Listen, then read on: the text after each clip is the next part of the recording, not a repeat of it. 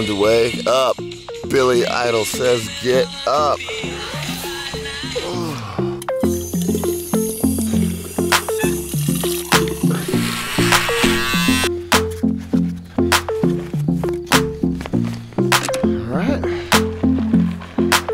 I'm not gonna go very far right now. I'm gonna go back to the park where I was last night. It is breakfast time.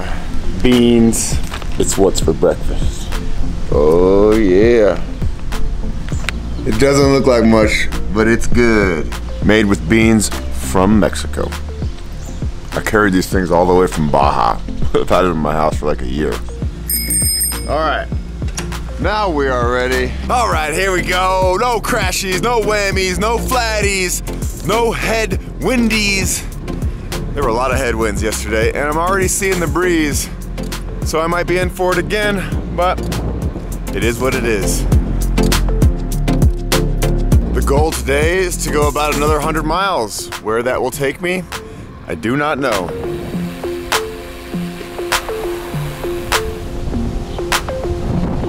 You see that tree blowing in the wind? That's not good.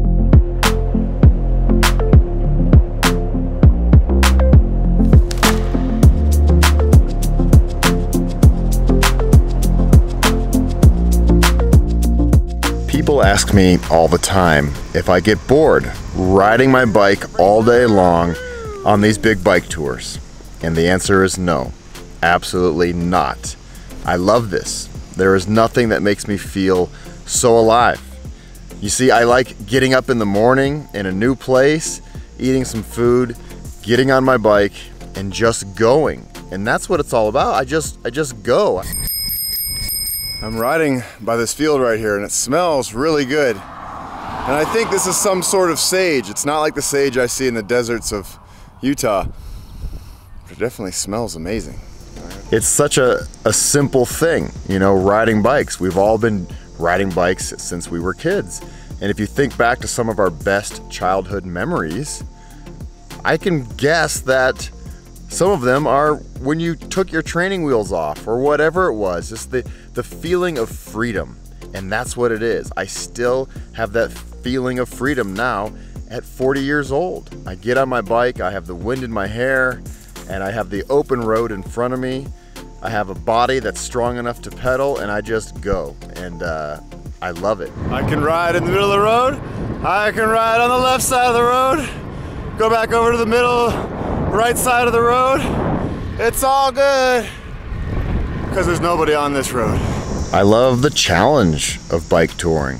I love how hard it can be, you know, to ride your bike all day long in the hot sun.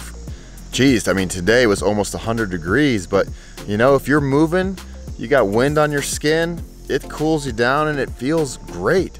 And then you stop every now and then and you just get to listen to the world and everything slows down and everything is quiet. Sitting on a bike all day allows you time to think. And you can think about everything. And it's really fun. Some of my, my best ideas and plans have come from bike tours because I have all day to think about them. And sometimes things can suck. Sometimes unexpected things happen and it's a total bummer. Today, for example, I had a freaking roofing nail in my tire. Ah, shit, I got a hole. No. Ah. Shit. You see this? This is what happens when you ride through cities. I don't get flats very often, but I got one today, big time. And you know what? I pull up off the side of the road, it's hot as hell. I whip out all my tools, and it allows me the chance to, you know, learn something new about how to fix my bike. And I like that. It feels good to be like, okay, if something bad happens, I got this. I got this under control. Come on, baby.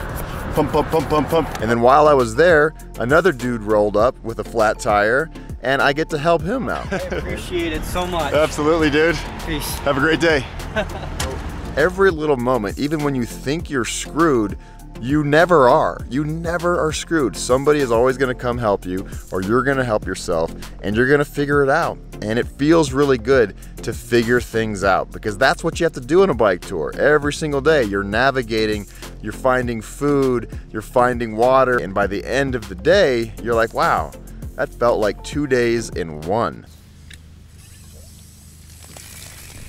Oh, yeah. Oh, oh yeah. That makes everything better, doesn't it? There was another moment today where I was on a road that was completely blocked by a train. Do you have any idea how long it's gonna be? About 40 minutes. 40 minutes. And lo and behold, some woman who works for the train department rolled up and said, It's gonna be a long time. Follow me, I will show you the way around all of this. And she was so sweet, she even gave me a bottle of water. She was awesome. Let's see if I can get it. Two points. Woo! You know, I'm born and raised in Colorado, and I've never seen this part of my own state, and it's not even that far from home. It's like 150 ish miles. And even though it's not the picturesque Rocky Mountains, it's still pretty cool. It has some charm to it, and I like the the tiny towns that I'm rolling through. This is a funny old town, Merino, Colorado. Not much going on. Small town America definitely has a charm to it. A busted up, old, historical charm. And I ride through some of these towns and I wonder if anybody actually lives here. Sometimes they look like the zombie apocalypse has rolled through and everybody's gone. I see a lot of random broken down vehicles on the side of the road, on these country roads especially. But this one back here takes the cake. That is a Gravitron. That's like an old carnival ride. The one where you get in and it spins around really fast and you suck against the wall. I wonder how many county fairs that thing has been at all over the United States.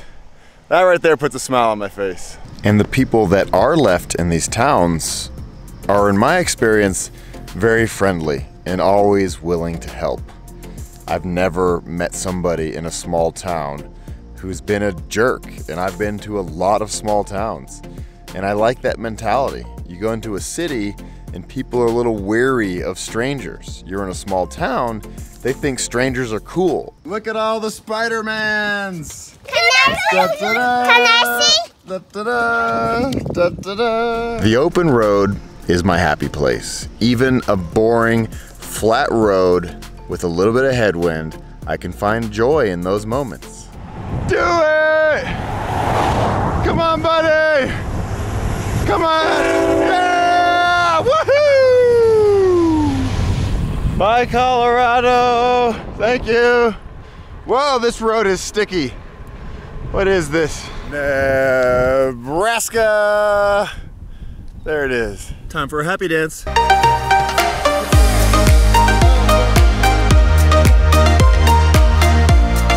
So that's pretty much all I have to say about that.